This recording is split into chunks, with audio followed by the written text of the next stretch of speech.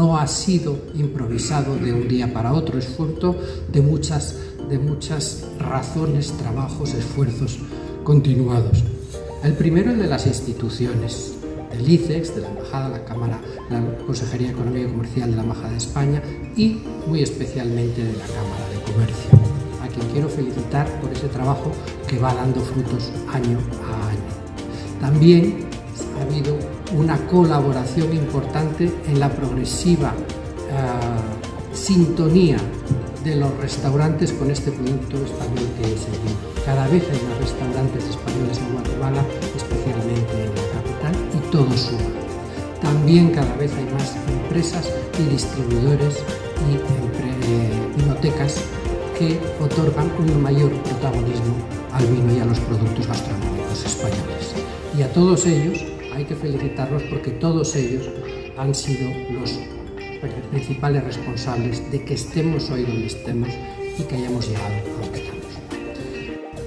Evidentemente, hoy en día el tema del vino y la gastronomía española suponen algo que es bien conocido, que es la marca país, algo de lo que siempre se habla y más en esta época, en estos años, de la marca España. Si uno piensa en el vino, si uno piensa en las tapas, si uno desde luego, uno de los tres países vinícolas del mundo por excelencia es España. Los datos están ahí, ya saben que somos el principal productor de vino por volumen, somos el tercero por valor, somos el principal exportador en hectáreas eh, cultivadas dedicadas al cultivo de la vid, importancia de la agricultura del sector y el arraigo de la población y todo ello significa el peso que tiene este sector del vino en España un sector que da empleo a más del 2% de la población, cerca de medio millón de españoles viven del y para el vino, supone una producción también algo superior al 2% de nuestro PIB, de nuestro Producto Interior Bruto Español, y además es un producto que está presente cada vez más en el mundo. Si no lo saben, el vino español lo pueden disfrutar en cerca de 190 países de los cuales prácticamente la mitad tienen importaciones millonarias en dólares o euros de este producto español que es el vino. Es decir, la marca, la marca España no se entiende sin el vino. Es una seña de identidad y que con el tiempo, como se dice del vino, ha ido mejorando en calidad y en imagen hasta el punto de convertirse en seña de prestigio y de calidad gourmet. Pero lo mismo que el vino es hoy en día o así se ha convertido en esa parte de la marca España, también empieza a ser parte de la marca Guatemala. Guatemala es, lo saben mejor que, que nadie, es un país tradicionalmente de cerveza y ron.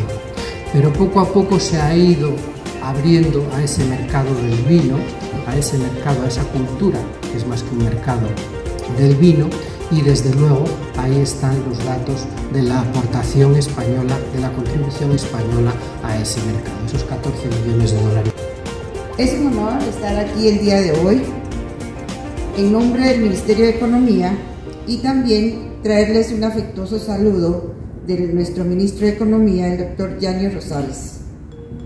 Queremos también agradecer a la Cámara Oficial Española esta oportunidad de estar con ustedes en la inauguración de un evento tan especial como es el quinto Festival de Vino y Gastronomía Española. Un evento en donde los conocedores de la cultura de los vinos y también quienes no han desarrollado ese exquisito paladar podrían disfrutar después de varios años de no llevarse a cabo este festival, de esta muestra tan formidable de la vinicultura española, sin olvidar sus exquisitos quesos y su gastronomía.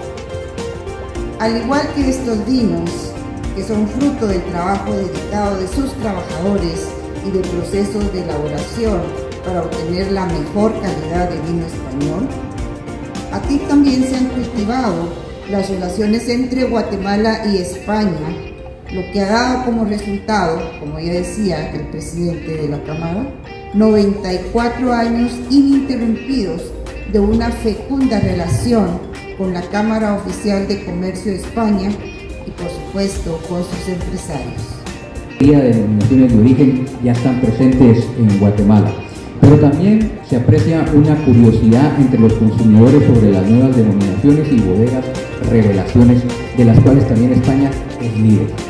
En resumen, la evolución positiva del mercado impulsado por las actividades y propuestas novedosas, como este quinto Festival del Vino en Guatemala, asegurarán un futuro prometedor a los caldos españoles.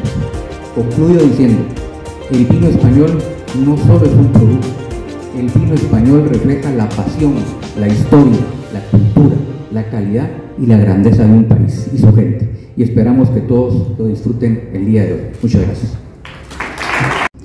En nombre de la Cámara, les queremos dar la más cordial bienvenida al quinto Festival del Vino y Gastronomía Española. Durante todo el día de hoy podrán degustar y adquirir los mejores vinos y productos españoles que están en el mercado guatemalteco. Adicionalmente tendremos exposición de productos españoles, catas, cerrando el día de hoy con una cena flamenca. Este es el quinto año que celebramos este festival, como bien lo mencionó nuestra directora ejecutiva, que año con año supera el anterior y esperamos que este no sea la excepción.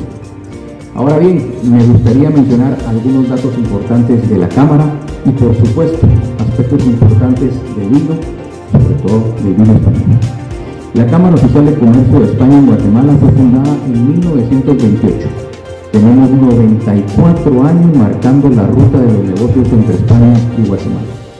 Fue fundada en 1928 por empresarios visionarios que abrieron la ruta de los negocios entre España y Guatemala y que casi un siglo después sigue haciendo la diferencia y generando más y mejores relaciones económico-comerciales entre España y Guatemala.